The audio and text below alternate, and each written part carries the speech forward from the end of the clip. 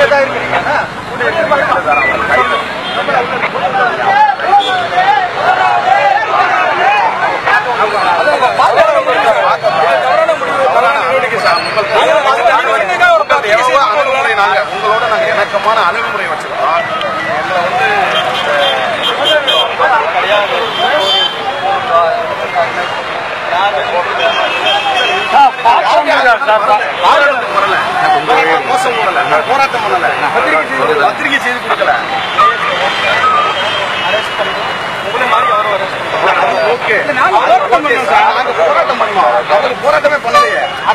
பேட்டியோட கொடுக்கல. உடல்நிலை முடியாத சார்? பேசுறது சரி. கைது. Okay okay.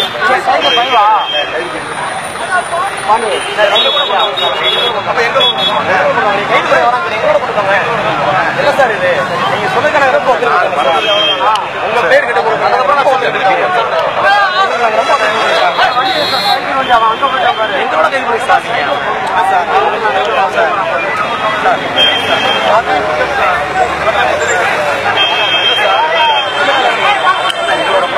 எங்களோட பண்ணுங்க சார் எங்களோட பண்ணுங்க அவர் போலீஸ் பண்ணுங்க இல்ல சார்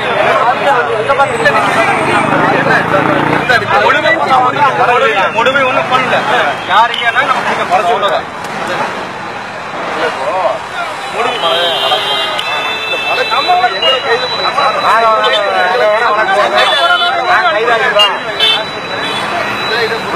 முடிஞ்சிச்சு இது முடிஞ்சிச்சு. நாங்க முடிஞ்சிச்சு ஆனா நீங்க எங்களை சார் நீங்க.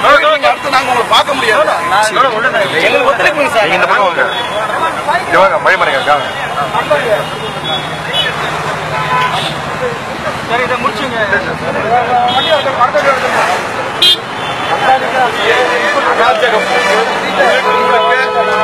மத்தியில் ஆளுகிற பாரதிய ஜனதா கட்சியினுடைய தூண்டுதலோடு இங்கே திருமுருகன் காந்தி மீது ஏற்கனவே குண்டர் சட்டம் போட்டார்கள். சிறையில் இருந்து விடுதலையான பிறகும் அவரை தமிழகத்தில் நடமாடவிடக்கூடாது அவரை தமிழகத்தில் பேசவிடக்கூடாது. அவரை தமிழகத்தில் ஒட்டுமொத்தமாக ஒரு குண்டர்களாக தேச விரோதிகளாக சித்தரித்து மிகப்பெரிய ஒரு கொடூரமான அடக்குமுறை சட்டத்தை ஒரு மீது திணிக்க மத்தியில் ஆளுகிற பாரதிய ஜனதா கட்சியினுடைய துணையோடு தமிழக அரசு செயல்படுகிறது. இதை வன்மையாக கண்டிக்கிறோம். இந்த நாட்டிலே கருத்து சுதந்திரம் இல்லை பேச்சு சுதந்திரம் இல்லை போராடுகிற சுதந்திரம் சுதந்திரம் இல்லை என்று சொன்னால் இந்த நாடு சர்வாதிகார நாடா.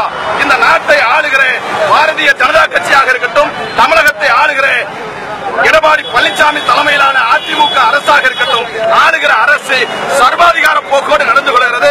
இதை நாங்கள் வன்மையாக கண்டிக்கிறோம். இல்ல இது- வந்து கலந்துக்க கூடாது அவங்க சொல்லவே இல்லை. எங்களுடைய போராட்டம் எங்களை என்னைய குறிப்பா எங்களை பார்க்க அவர் இந்த போராட்டத்தில் கலந்து கொள்ள வரவில்லை. எங்களை பார்க்க வந்தார்கள். காவல்துறை எங்களோடு பேச்சுவார்த்தை நடத்தினார்கள்.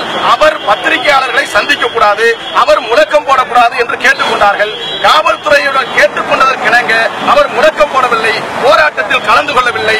பத்திரிகையாளர்களை சந்திக்கவில்லை. இத்தளவு இவ்வளவு காவல்துறைக்கு ஒத்துழைப்பு வழங்கிய பிறகும் திருமுருகன் காந்தியை காவல் நிலையத்திற்கு அழைத்துச் செல்கிறார்கள் என்று சொன்னால் அதிலே